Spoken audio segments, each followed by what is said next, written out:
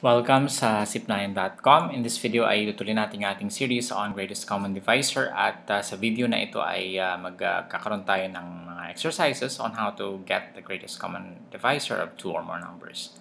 Sa previous two videos natin, dun sa unang video natin ay pinag-aralan natin kung ano ba ibig sabihin ng divisors or factors. At sa pangalawang video natin ay uh, pinag-aralan naman natin kung ano ibig sabihin ng common divisor at greatest common divisor.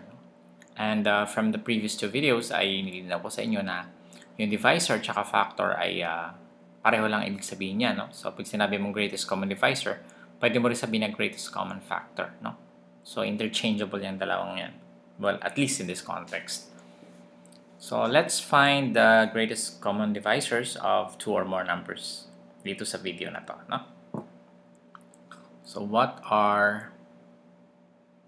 So, number one, what is the GCD, or the greatest common divisor of 8 and 16?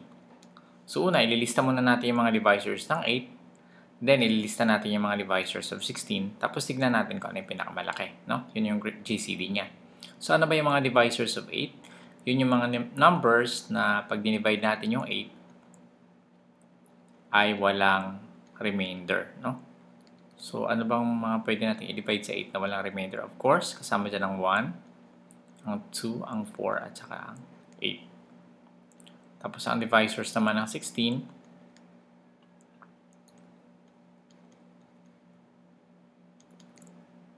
ay, uh, of course, 1 din. Divisible din ba siya by 2? Tapos, 4, 8, tsaka 16. Yes, of course. No? So, a number is always divisible by itself. No? I think uh, napag-aralan natin yan sa doon sa video number 1 no? sa series na to. So, anong pinakamalaki na common? Ano ba muna yung mga common? Ang mga common ay 1, 2, 4, tsaka 8. No? So, ang pinakamalaki ay 8. So, therefore, the GCD or the greatest common divisor of 8 and 16 is 8. Okay. Example 2. Find the greatest common divisor of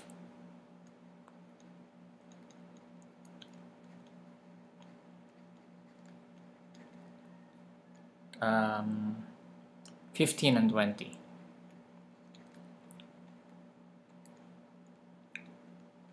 So divisors of 15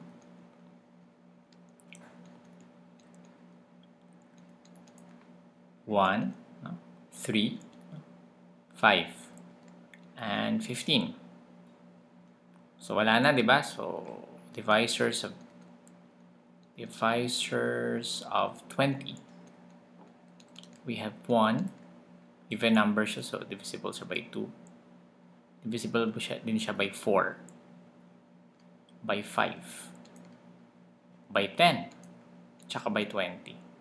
So, ano ang common? What are the common divisors? We have 1. Meron ba?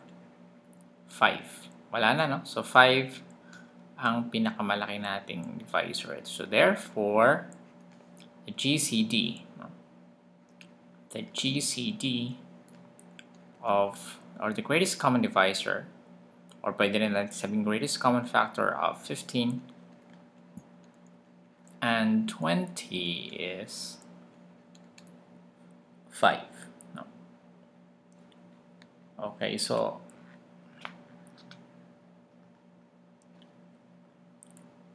uh, what what is the GCD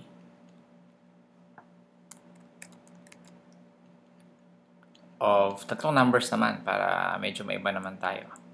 12, 18, and um, 36 for example. Ano sa tingin nyo? Mahuhulaan nyo kaya?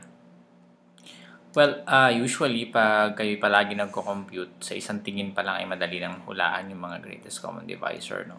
pag sanay na sanay kayo sa mga ganito, uh, hindi nyo na actually kailangan na maglista, no? So, sa unang tingin pa lang, alam nyo na. Anyway, ang greatest common divisor niyan ay 6. So, tignan natin, no? Uh, una muna is, uh, we get the, great, uh, the common divisors of 12. Common divisors of 12. Sana hindi ako magkamali kasi hindi ko naman, bigla ko na lang ito naisip itong tatlong numbers. 1, we have 2, we have 3, we have 4, we have 6, and we have 12. Wala kaya tayong kulang? Hopefully, wala. And then we have the common divisors of 18. So we have 1, 2, 3, 6, 9, and 18. Hopefully ay wala tayong mali. No? Tingnan natin baka meron tayong 1, 2, 3, uh, 6, 9, 18. Okay. Next we have the common divisors of 36. We have 1, we have 2, we have 3.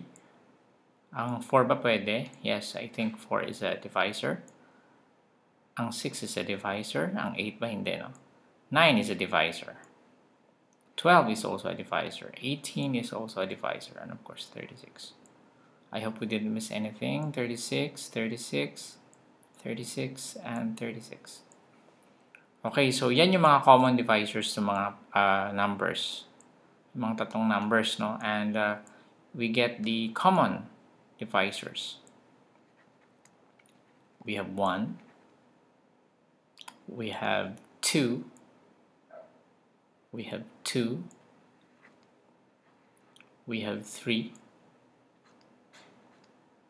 Meron tayong 4 pero dito wala siyang 4 so ibig sabihin hindi siya common divisor ng tatlong number. Common divisor lang siya ng 12 at 36 pero hindi siya common divisor ng 12, 18, and 36. So hindi pwede yung 4 kasi dalawang beses lang siya nag-appear. Dapat mag-appear siya in every list, no? Okay, so 6. Ang 6 by common divisor, I think. 6 is also a common divisor. Oh, sorry. It's supposed to be here 6, 6, and 6. Meron pa ba? Wala na, no? Kasi 12 na lang natira dito at wala na 12. So from here, 6 is the greatest common divisor of 12, 18, and 36. I think tama ako kanina sa aking hula, no? So, the greatest common divisor of 12, 12, 18, and 36 is 6. Okay? So, sa greatest common divisor or sa mga common divisor, siguro na-observe nyo naman na palaging kasama yung 1. No? Siyempre, ang bawat number naman ay divisor niya ang 1. No? But uh, usually, siyempre hindi naman yun yung greatest common divisor unless prime number, no? So, pag prime number yan, lahat ng mga, for example, what's the greatest common divisors, or what's the greatest common divisor of uh, 3, 5, and 7? 1 yan kasi puro prime numbers eh. Ba? So, ang prime number kasi, ang greatest, ang ang divisors lang naman niya ay 1 and itself, di ba? So, common divisor, divisor of 3, di ba? Di ba? 1 and itself lang naman. Tapos, common divisor of 5. 1 and 5 lang naman. Common divisors, divisors of 7, 1 and 7. So, pag prime numbers yung kinukuha mo, palagi lang 1 lang yan ang kanyang common divisor. Wala na sa ibang common divisor. Huh? Okay, so I think um, malinaw na kung paano kunin yung uh, GCD ng 2 or more numbers. Uh, dapat uh, yung mga common divisors mo nandun sa lahat ng numbers or nandun sa lahat ng listahan. Hindi pwedeng uh, may kulang. No? Pag greatest common of greatest common divisor of 5 numbers, dapat nandun siya sa lima. Limang listahan ng mga common divisors. No? Hindi pwedeng sa apat lang. Dapat nandun siya sa lahat. Okay, so maraming salamat. Uh, invite ko kayo sa zip9.com yung ating blog. And of course, if you want to subscribe to our channel, you can subscribe to the uh, Sipnayan YouTube channel by clicking the subscribe button below the video. Maraming salamat and see you in the next tutorial.